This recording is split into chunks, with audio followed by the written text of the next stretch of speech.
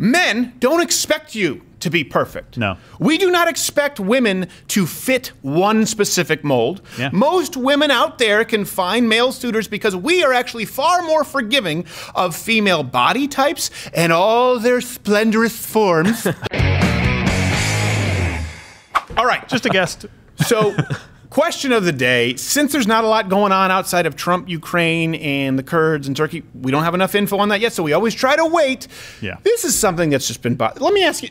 Do you totally unrelated? Do you buy into the whole idea of the unrealistic female body image standard and that we live in an unfair society? Because you hear about this so much, and I, I feel as though everyone rolls their eyes when they hear a woman going, "It's you know, it's really hard for a woman today in the industry." We go, "Oh, okay." So let me, yeah, I'm, I'm not making a lot of sense. Let me let me kind of That's a rough woman. set this up really quickly before we go to a clip. To accept the idea of this double standard as established by patriarchy, the idea of an unrealistic female body standard in a cruel society, you have to accept three premises. Okay, one, there's a universally accepted unrealistic body standard set for women. Two, that it's enforced upon women by men, and three, that this standard is exclusively or unfairly applied toward women.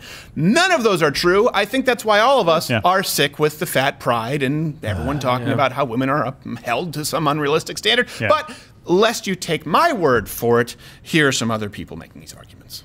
The double agent for the patriarchy is basically just a woman who perhaps unknowingly is still putting the patriarchal narrative out into the world. But you are Like selling lipstick, us something hair extensions, fake that is- eyelashes, and that Right. really couture. doesn't make us feel good. You're selling us a, an ideal, a, a body shape. It's a double standard because, you know, there are men with really her. beautiful Oh, women yeah. that don't have great bodies, and, and yet nobody's saying anything about that. I think it hits a little too close to home with Portia Del Rossi. I think that's what she's upset about. Okay, a couple of things mad. here. Yeah. Um, this is not exclusive to you, women. And, and I want to say, here's the silver lining. And this is why we get really pissed off when we talk about fat pride. Men don't expect you to be perfect. No. We do not expect women to fit one specific mold. We do not expect you to be a size zero. The beauty is, women, if you're married, your husband finds you attractive or your boyfriend finds you attractive, he wants to see you naked. Yeah. Most women out there can find male suitors because we are actually far more forgiving of female body types and all their splendorous forms than women are. And I think women, you're harder on men than uh, men are on women. So, a couple of things. It's, first off, it's important to uh, understand there is an ideal, there's a beauty standard that's set when it goes. You know, you're Yeah. watching a film. We're admiring someone's beauty, of course. Yeah. That is something that actually exists. It doesn't mean that we expect everybody to look that way. And there wasn't a secret meeting behind women's back where we said, "Hey, you know, we don't even like boobs and butts. We're just going to throw this out there." Yeah. to throw them for a loop. So uh, there was something recently like this. Is every time some advertisement comes out Yeah. where there's a beautiful person, the social justice warriors get upset about it. I think this was remember is this we have this. Uh, it was a protein shake I think that sparked outrage in London. Asking women in big, bold letters, are you beach body ready? Women calling the ad campaign sexist and body shaming. Okay. Body shaming. Yeah, I don't know what this term body Lord. shaming means. If you're ashamed of your body, then that's your own thing, and some of Yeah. you should be ashamed of your body. Uh, look, look at their, their advertisements for men. Okay, right here. There you go. Look, yeah, I'm one How green. dare they? I'm Yeah. one green smoothie away from that. Oh my Just a little workout. We're dead. And we hear this all We're the time. I think the reason, and this creates more of a divide, it's this divide and conquer between men and women where women think that men expect something from them that they don't. And then women throw out this idea that, oh, you know what, but it's okay for men to be fat. They're not held to these standards. Look, and they start naming comedians like John Belushi, not Jim Belushi. That's just, that's, That's I mean, that's a different. bridge too far. No one likes that. Nobody. According to Jim, I've seen uh, Make a Wish Foundation videos that are funnier than according to Jim. But let's look at the famous fat guys out there. You look at Chris Farley, you look at these comedians. No one was using them to advertise weight loss shakes. No. They weren't valued for their looks. They were valued for their contributions to comedy. Think about this for a second. Cary Grant, Gregory Peck, uh, up to Hugh Jackman. None of them were ever fat guys. No. None of them. This idea that there's no standard set for men or that men uh, cannot feel uncomfortable in their own skin, this is a lie. And it's also why these three premises are important. Has it been enforced upon women by men and it is applied exclusively to women? Um, I say no. No, I don't. I don't think so. And it's it's weird to say too, like that. That, like you said, that there's something that we got together and decided this is what beauty is. Right. It's symmetry a lot of times that we see, and that can come in all kinds of shapes and sizes as long as it's symmetrical. They've done studies on this. Well, I also think it's it's far harder for a man to attain the standards that you would see in magazines while we're talking Oh, yeah, about this. yeah. Uh, you know, let's do it right here. Here's a co- cover of Cosmo the same month as a cover of Men's Health. Which one of those is more attainable? Yeah, right. right. Like, th- th- I get it. Men don't necessarily feel pressure. We don't look at that and go Right. like, "Oh my gosh, can you believe?" No, we look at it and go like, "Oh, okay. Well, that guy that guy did something." Yeah. he did. He Good did job, do a lot fellow. of things. likely took diuretics Yeah. and, and, and anabolic eat. steroids, and he was in a, a hot Epsom salt bath with wintergreen, dehydrating himself. She just had to do yoga for a few months. Yeah. all men expect of you women, all men expect uh. is for you to not be wildly unhealthy. Yes. That's it. And here's something else to push this idea of body positivity. Now we've gone so far that we are actually encouraging people to be unhealthy. Cosmo decided to reverse course because that woman, of course, was offensive mm-hmm. of course. and unattainable. No woman in their na- in the natural realm could look like that. Right. So we now put Tess Holliday on the cover. I think we have there. Yeah, there you go. Oh. Show me a men's oh, magazine that glorifies a fat guy like you won't find it. Yeah. No one is trying to find the guy who bathes in a pig trough and put him on the cover of Men's Journal. Do they charge more for tattoos if your body is bigger? I have no more- idea. Got to be more more time and area to cover. Here's here's a study to, to, to back this up. A study of 12,000 people showed that stats for, for both men and women they're the same. About a quarter felt very to extremely satisfied with their appearances, regardless of gender. Um, and and this is something else too. This idea that it's dictated by men, and this is why I want this. I come bearing you tidings of great joy. We don't expect this from you. And this is why men roll their eyes and say, oh my gosh, you have a victim complex. Like, you just don't understand. No, we don't expect you to look like Kate Upton. We think she's pretty, but when you feel these unrealistic standards of beauty being applied to you, or you feel as though you have to live up to them, then all of a sudden, as you heard that first lady in the in the rouge and lipstick and the, the Yeah. hair Yeah. extensions and everything she apparently hates. yeah, as Jordan Peterson points out, well, the rouge is meant to mimic the sexual flushing that occurs when it's like, okay, well, you know, that's probably true. That's why you're putting on makeup. reasonable, high yes. heels lift up the butt. He's a smart guy. But let me ask you this: Here are the people. We're talking about something different: the entertainment industry and the fashion industry. Really, that's really more of a byproduct of consumerist culture, Yeah. right? Where they're trying to sell you beauty products. Well. Do we really think that straight straight men are in charge of the patriarchy? Eh, I don't know. Let's go to the tail of the tape. It really is survival of the fittest, okay? OMG. This is my new look. Do you What? think I should be making him red? Yes. Ruffled shrug in vinyl. Busy and tacky. Totally You're stuck straight. in the Dapper Dan look that it has to be a pant and a cool jacket.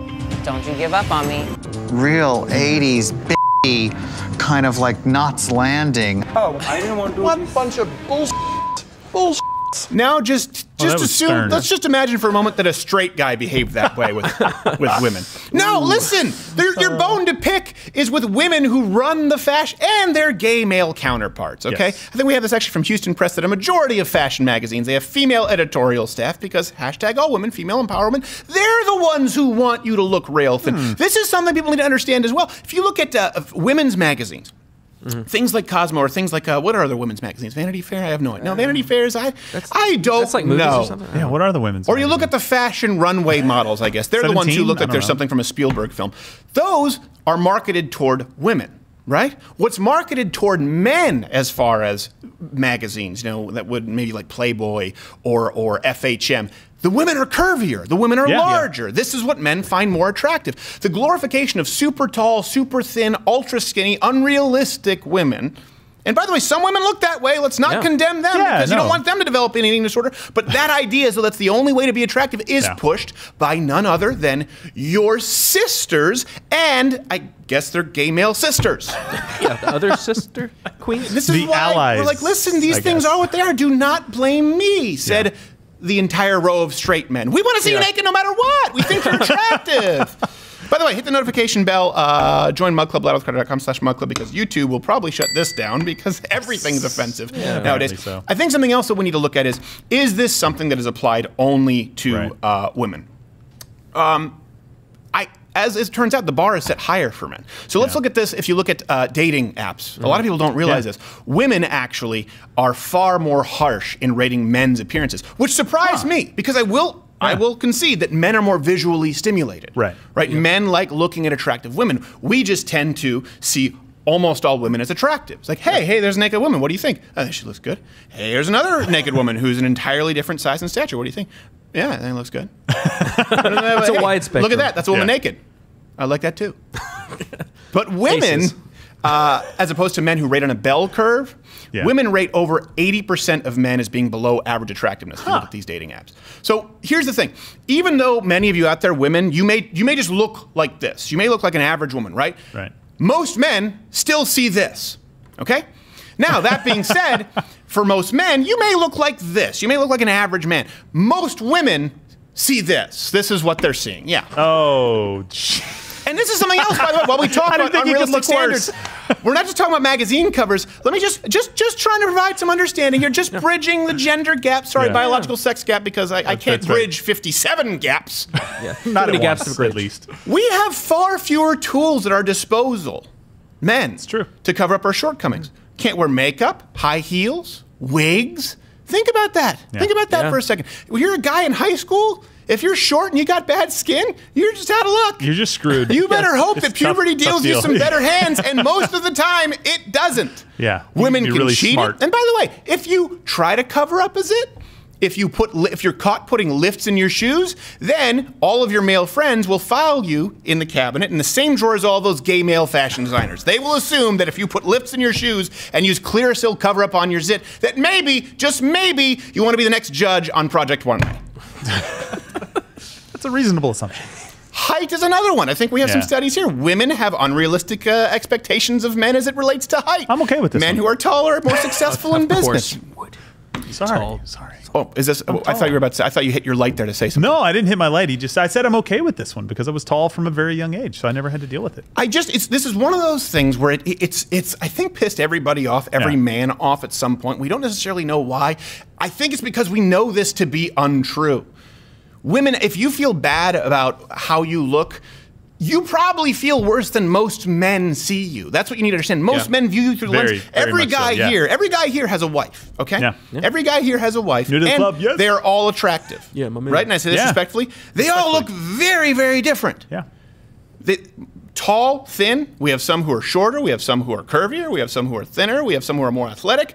We think that we all think they're beautiful. Yeah. I don't. Under, I don't know when this started. This idea that if we admire someone who's beautiful, and and no one expects this in real life. If you look at a Jessica Alba or I don't know a Kate Upton, we can look at it and say that it's nice. But this idea that men have been putting pressure on their wives or putting pressure on their significant other to look that way, I've never experienced it. I only see it in films in the entertainment Yeah. industry. Where you, go, you know what? If you uh, if you uh, worked out every now and then, maybe you could uh, lose a couple of pounds. That's usually like the douchebag Yeah, exactly. redneck husband. Yeah. I've never seen that in real life. Yeah.